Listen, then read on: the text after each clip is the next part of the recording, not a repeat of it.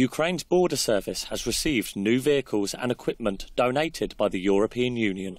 The trucks and vans, which are worth more than $8 million in total and bear the insignia of Ukraine and the EU, were put on display in the Border Service compound where they were inspected by Ukrainian Prime Minister Arseniy Yatsenyuk and the head of the EU delegation to Ukraine, Jan Tombinski.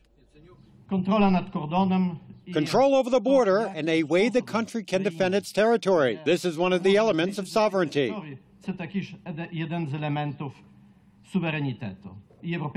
And the European Union does everything to help Ukraine to protect its territorial sovereignty, to protect the territory of the country. Yatsenyuk said the new equipment will bring the country a step closer to controlling its borders against Russian aggression. As of last year, the government started construction of a new high quality European system of protection of the state border of Ukraine.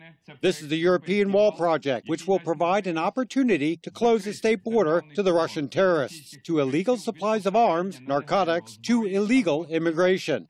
It will also provide an opportunity to close down illegal arms and heavy military equipment supply channels. Altogether, the Border Service received 142 Volkswagen 4x4 pickup trucks and 51 vans, as well as 142 night vision kits.